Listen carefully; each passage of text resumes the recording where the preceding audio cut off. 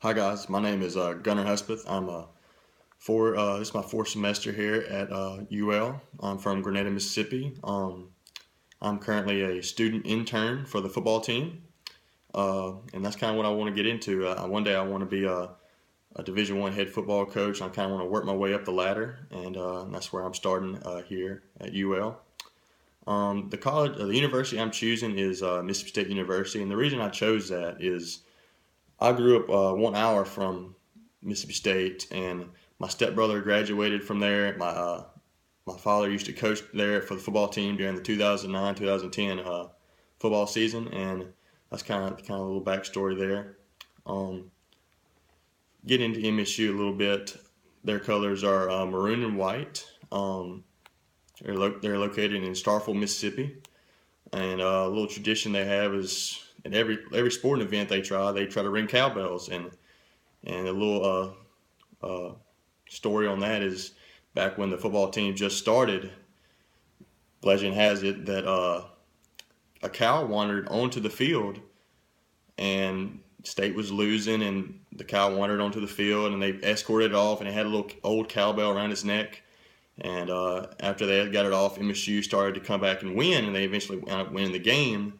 And so state fans they ring cowbells for good luck because that's that's the legend they've always heard and grew up hearing. So that's a little uh, backstory there. Um, their mascot is now called the Bulldogs. Back in the 1930s, they were called uh, the Maroons for their colors, but uh, in 1935 they changed to the Bulldogs. Um, get into the little uh, academics. There's around 21,600 students currently enrolled for the spring semester at MSU.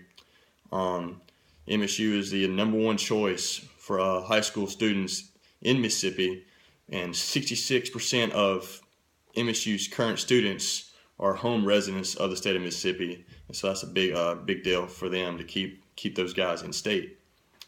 Um, MSU is one of the nation's leading agricultural and uh, research universities and their uh, tuition costs just under around seventeen thousand dollars, give or take a few.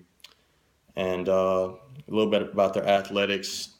MSU has really excelled in a bunch of athletics, especially uh, past couple years. Their women's basketball team has done really well. They're ranked uh, top three in the country right now. Their baseball team won the uh, Southeastern Conference uh, this past year. Their football team has, has gone to many consecutive bowls and that's kind of what uh what I want to talk about. Is their uh, they play their football games at Davis Wade Stadium at Scott Field. Uh, their head coach is Dan Mullen. He's been there for the last eight years. He's uh, led them to seven straight uh, bowl appearances, and uh, this past year they actually won their bowl and uh, and they compete in the West Division of the Southeastern Conference, and they've they've really excelled greatly, especially uh, two years ago, they were able to get to the number one ranking in, in the country at Mississippi State for the football team, and that's that's a big accomplishment. Um, I think this class will be a great experience for me. I think it's going to help me kind of develop uh, my managing skills. Uh, I hope it everything goes well, and I appreciate y'all for taking time and uh, listening. Thank you.